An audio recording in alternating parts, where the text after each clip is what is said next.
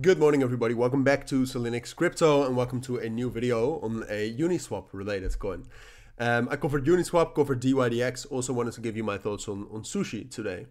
Um, it's it's been one of the strongest performers. I mean, basically yesterday after after we got the news, um, we rallied a ton, all right. And before that, Sushi Swap already was showing some bullish momentum as well. So um, it's just in general a little bit more interesting to look at. But you can see that we pumped almost 50%.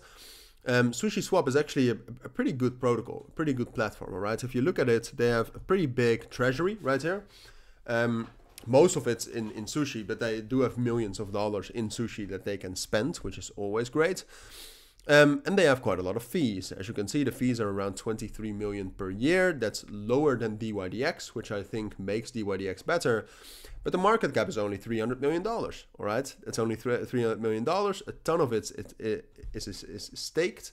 Uh, so that decreases the circulating supply, so that decreases supply, and if then demand increases, price increases a lot, and that's what we're seeing. Um, so just wanted to uh, briefly give you my thoughts on, on the situation, uh, give you my thoughts on what's possible from here. We've obviously rallied a lot already with, with Sushi, and you'll probably see if this loads up, because it wasn't loading that well last time around. Uh, but you can also see that we, we, we've had millions of dollars probably in positions opened. Yeah, so here you can see that. Um, had a bit of a sell-off already yesterday uh, yesterday afternoon as well, which is interesting to see.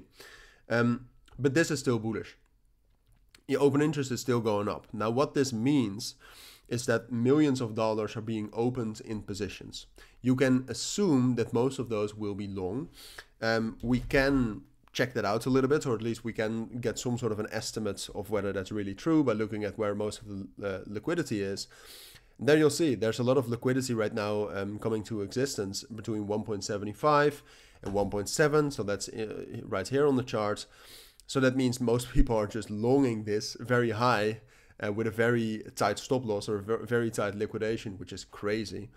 Um, but no, in, in general, a lot of people are still buying this. That's why the open interest is going up. And that's why I think at this moment, su sushi is still bullish. But then again, if you look at the one hour time frame, you'll also see that 1.85, which you can also see on the daily time frame, is a strong resistance. Uh, like the last time we tested this was the 5th of November 2022, and then we failed to break above that level between 1.85 and $2. Um, and at this moment, I also do not think we can break above that. All right, I, I think we've rallied too much with all of these open positions. Like there's too much there's too much profit taking potential in this level. Uh, the level technically is too too strong that I, I think most of the most of the whales and most of the huge traders that opened long positions on sushi I think we'll, they'll take enough profits here. They'll still sell enough positions here um, to actually make the price not break above that. Now, is it possible? Obviously. If we keep going up and if the open interest keeps increasing as we go towards that level, we'll break above that, all right?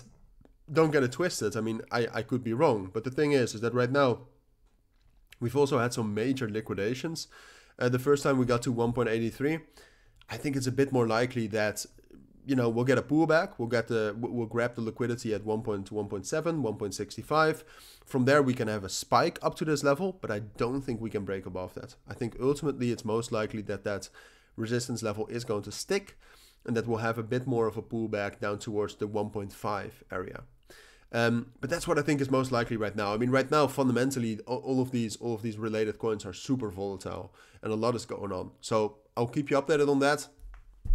Um, it, it depends a lot on, on the development right now, but for now, this seems most likely. So if you do have any questions, of course, let me know down in the comments.